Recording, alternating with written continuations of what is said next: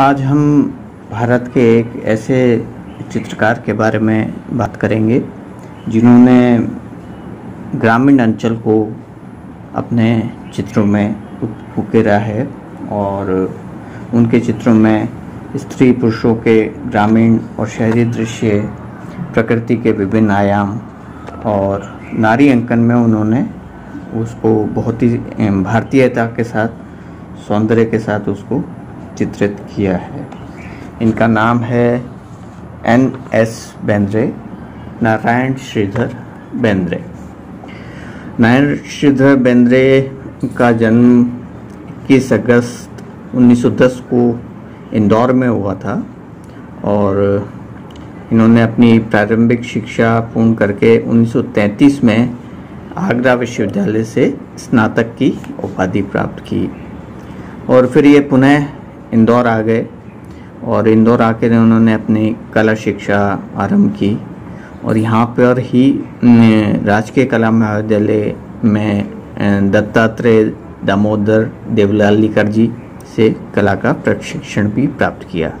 ये वही कला गुरु हैं जिनसे प्रसिद्ध चित्रकार एम एफ़ हुसैन ने भी प्रशिक्षण प्राप्त किया था।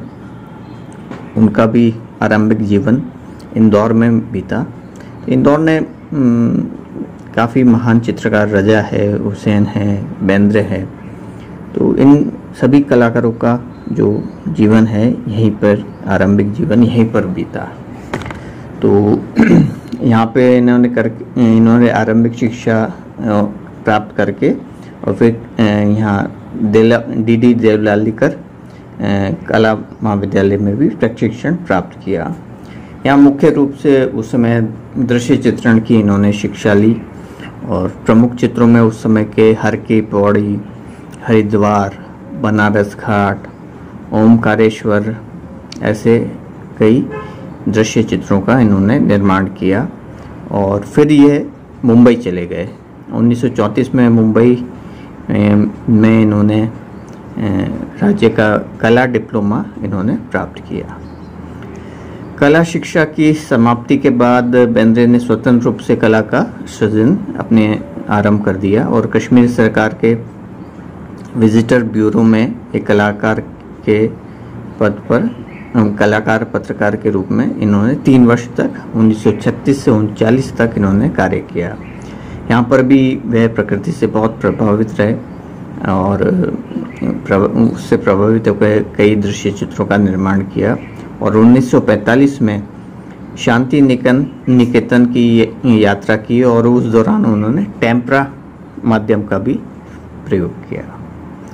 तो ये मूलतः दृश्य चित्रकला से इन्होंने अपना जीवन काल आरंभ किया और फिर धीरे धीरे ये, जो है, आकृति मूलक या ग्रामीण जीवन या शहरी जीवन को इन्होंने चित्रण आरंभ किया। और इनके कला शिक्षण के बाद इनकी जो शैली है, उसको बैन्द्र शैली के रूप में भी हम जान सकते हैं। और सत्यम शिव सुंदरम का अद्भुत मेल इनकी कला शैली में दिखाई देता है। 1950 से छियासठ तक जब ये बड़ौदा रहे तो वहाँ पे भी इन्होंने कला विद्यार्थियों को शिक, कला शिक्षा प्रदान की और उन्नीस सौ बावन में भारत सरकार द्वारा भेज चीन भेजे गए सांस्कृतिक दल में भी एक बेंद्रे सदस्य के रूप में शामिल हुए। अब बेंद्रे की अगर हम कला शैली की बात करें तो उनके ऊपर मूल रूप से राजपूत और मुगल कला का प्रभाव मिलता है।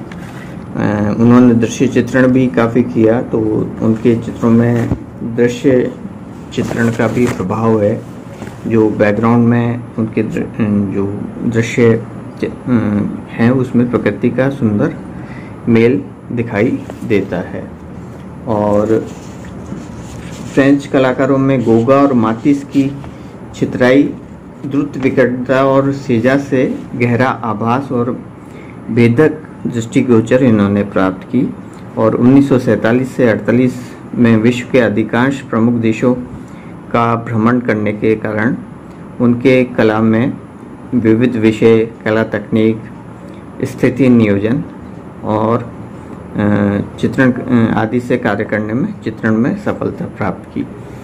कलात्मक विशेषताओं की बात करें तो बेंद्र की कलाकृतियों में सबसे उनका जो इम्पोर्टेंट रोल रहा है, वो कलर्स रहा है। उन्होंने कहा भी है कि कला में शब्द नहीं, उसमें रंग ही प्राथमिक महत्व की चीज़ है। माध्यम के रूप में रंग को हम किसी कलाकृति से अलग नहीं देख सकते। जो लोग कला के संबंध में बोलते या लिखते हैं, उन्हों, उन्हें रंगों के बारे में गहरी समझ करनी चाहिए। तो रंगों के प्रति उनका विशेष लगाव रहा और रंगों को उन्होंने अपने चित्रों में महत्व दिया और उनके चित्रों में चटक रंग, योजना उनके चित्रों का मुख्य आधार रही और उसमें एक तरह की संगीत संगीत की उत्पत्ति हम प्रतीत करते हैं। उस समय बेंद्रे ने पतले पतले रंगों को अवचेतन के प्रभाव से कैनवास पर फैलाकर या बहाकर या स्थान स्थान पर मिश्रित कर विचित्र प्रभाव तथा रूप बनाए। इस प्रकार की अमूर्त चित्रकारी कुछ ही दिनों कर पाए और ज़्यादातर उनके चित्र जो है आकृति मूलक या फिगरेटिव हैं।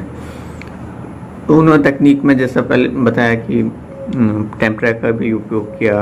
कहीं कहीं उनके चित्रों में पॉइंटिज्म भी दिखता है, बिंदुवाद भी दिखा, दिखता है। रंगों को छोटे छोटे डॉट्स में उन्होंने लगाया हुआ है। और बेंद्र की ए, कला आकार को सरल व स्पष्ट रूप में उन्होंने फॉर्म्स को बनाया है।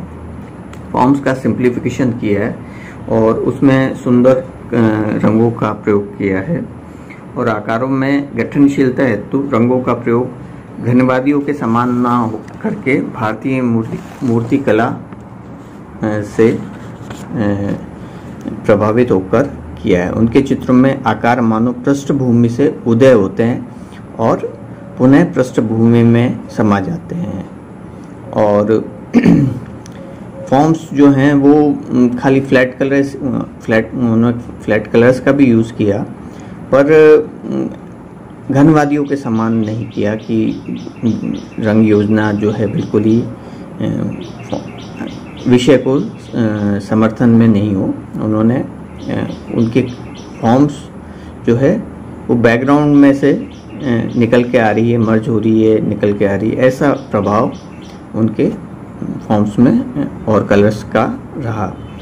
और जैसा पूर्व में बताया कि मुग़ल और राजपूत कला का प्रभाव भी दिखाई देता है। कहीं कहीं रेखाओं में घनवादी प्रभाव दिखा, दिखता है।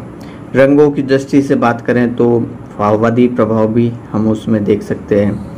सूरजमुखी के शीर्षक वाले चित्र में घनवादी तथा फाववादी प्रभाव दिखाई पड़ता है। सूरजमुखी जो चित्र है, वो उनके काफ़ी प्रसिद्ध हुए, जैसे वैनगोक के भी सूरजमुखी चित्र श्रृंखला काफ़ी प्रसिद्ध हुई थी। और इनके, इन चित्रों में आकृतियों के विभाजन में पारदर्शिता सम्मुख परिप्रेक्ष्य में से मूल आकारों का सौंदर्य और चित्र की सपाट डिज़ाइन और रंगों का आकर्षण इनके चित्रों की विशेषता बनती गई। शैली और माध्यम के बारे में बात करें तो बेंद्र ने किसी विशिष्ट शैली का चाहे परंपरावादी हो, चाहे आधुनिक हो, उसका अनुकरण नहीं किया और अपनी एक खुद की शैली, बेंद्र शैली के रूप में अपनी पहचान बनाई। नारी चित्रण में भी उन्होंने इस खास शैली में काम किया। उनके पात्रों में हमें भाव प्रवणता गांधीर्य के दर्शन होते हैं। उन्होंने कैनवास पर जो भी अभिव्यक्ति की, वे अत्यंत सुंदर और चित्ताकर्षक बन पड़ती है। उनके जल रंगों और तेल रंगों में किए गए अंकन का चित्ताकर्षक वैभव उस सबसे भिन्न और अनूठा है। प्रकृति मानव जीवन के कितने ही रूपाकारों के लिए पेन एंड इंक तथा पेंसिल माध्यम का भी प्रयोग किया।